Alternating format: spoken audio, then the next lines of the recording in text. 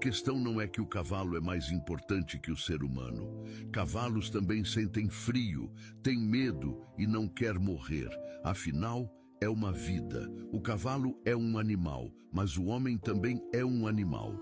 Só há uma única diferença entre os dois: é que o homem é racional.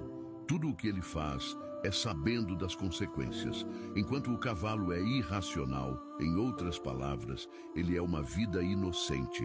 Por que não salvar o inocente que está pagando o preço das ações gananciosas dos homens agredindo a natureza?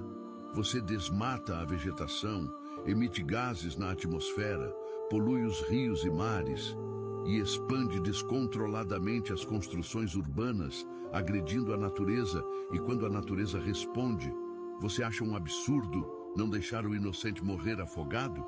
O homem é realmente egoísta, arrogante e ignorante.